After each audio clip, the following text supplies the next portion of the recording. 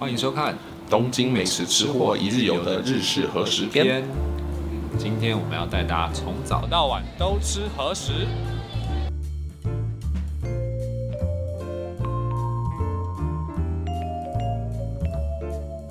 首先，我们到了一家非常具有历史的饭店来吃日式早餐。我们现在来到一家叫做 Yamano Ue 山上的和食。哇，这日式早餐真的是太丰富了。它这边有烤的鲑鱼、玉子烧、生鱼片，然后蒟蒻，这边还有一碗煮物哦。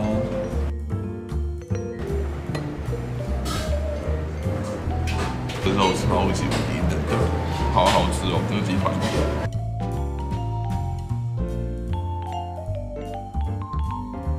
哎，吃完早餐喽，我们现在要去俗称老人的元素的潮鸭去晃晃吧。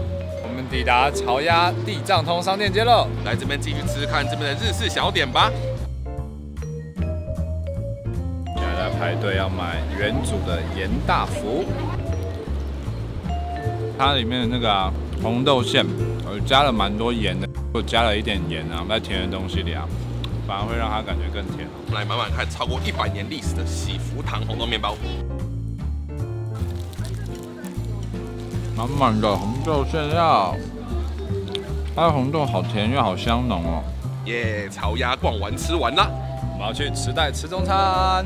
中午我们就来吃烧肉阿梦的烧肉定食吧。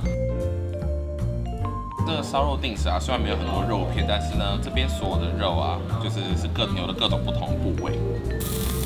哇看这个发炉就知道油花相当的足够，这片肉看起来就很油很肥啦。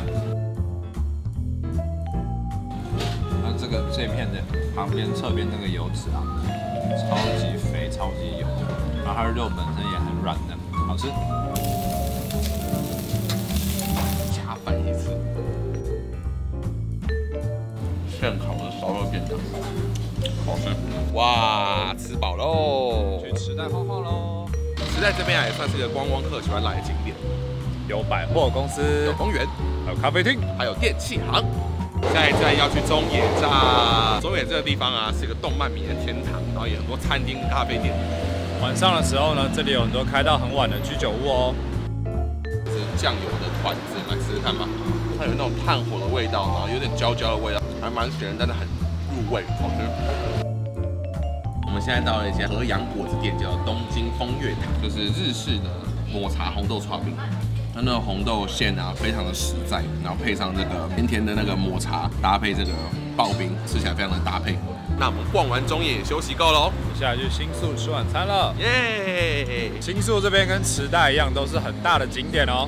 这边有很多餐厅啊，跟百货公司，可以在那边逗留很久哦。那我们在吃晚餐之前，来笃定看一下夕阳吧。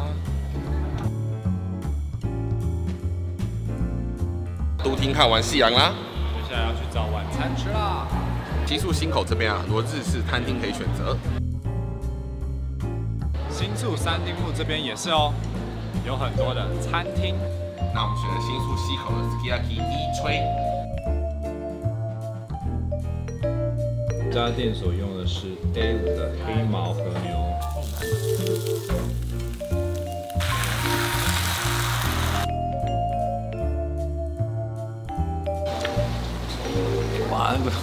我靠，这有点太有深了，讲不出话。蛋黄的甜，寿喜烧酱汁的甜，然后那个 A 五和牛的油脂加上那个牛肉的甜味啊，超完美。